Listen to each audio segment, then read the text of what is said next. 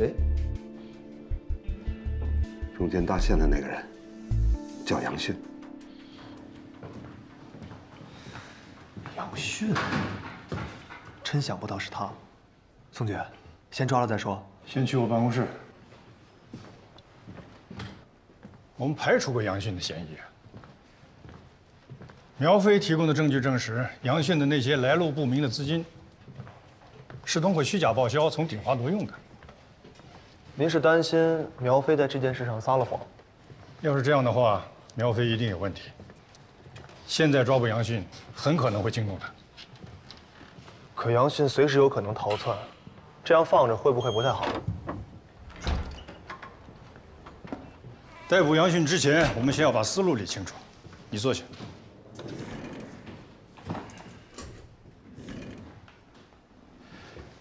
当初苗飞提供的那些证据，你们核实过吗？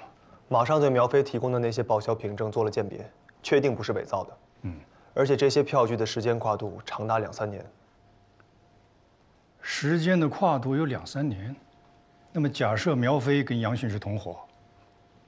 当他知道我们开始怀疑杨迅，就以贪污公款为名，把杨迅赶出鼎华，实际是在掩护他，替他洗清嫌疑。要这么说的话，那他们两三年之前就开始设计后路了。那这行动逻辑也太缜密了吧？苗飞认识周炼，也是两三年之前的事。开始进攻之前，先想好防御的策略。这帮间谍完全有这个策划能力。我认同您的观点，但是关于苗飞身份的问题，专案组从来没有放松过警惕。每次安科找他谈话或者寻求协助，其实都会顺带着测试他。另外，马上那边一直在进行着观察和试探。要想同时瞒过他们两个人，这苗飞伪装的手段得多高明啊！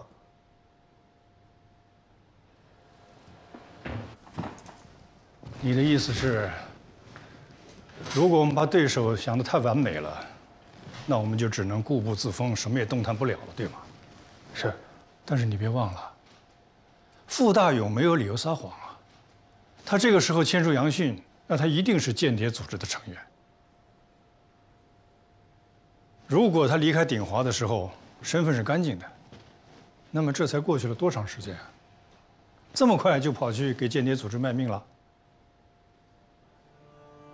宋队，我觉得不是没有这种可能。你根据什么做的推断？我是谁？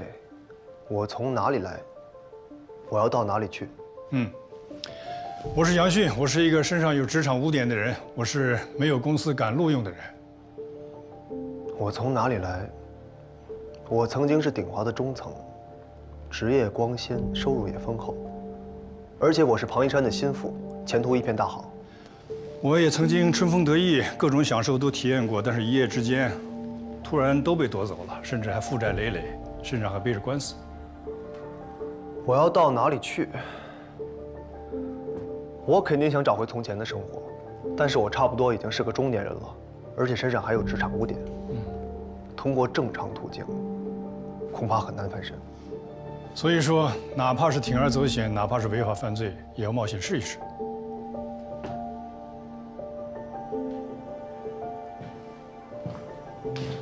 确实符合逻辑啊。不过，加入间谍组织和挪用公款，毕竟不是一码事。杨迅真敢冒这么大的风险吗？在我看来，杨迅已经算是身陷绝境了。要是再有人怂恿，那还真的很有可能。不过，潜伏在鼎华公司内部的那个人，也确实能够第一时间掌握杨迅的动态，并适时的加以利用。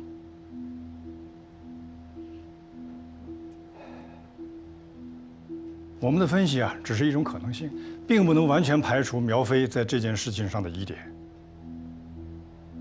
但是有一点可以确定，我们抓了杨迅，就可以牵出策反他的那个人。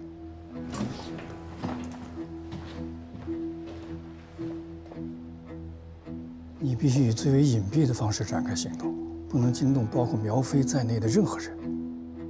明白。先锁定他的位置，等我命令，进行抓捕。是。哎，杜马，大有进步啊！都是宋局教的好。别贫。哼，就。是。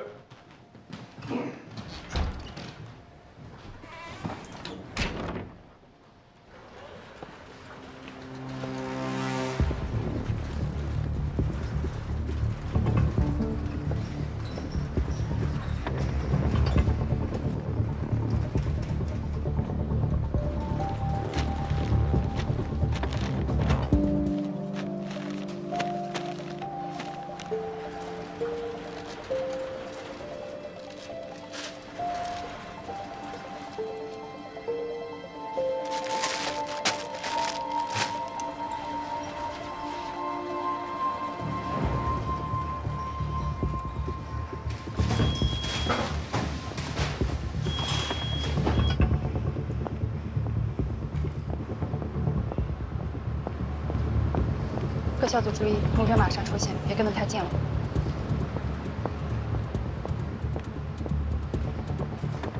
这比我想象的容易很多，只需要这么跟下去，就大功告成了。兄弟，你们滨海局效率挺高的。马上，我越来越觉得你说的有道理。什么？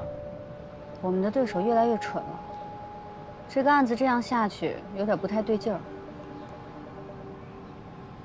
我们先把付梦瑶救出来再说。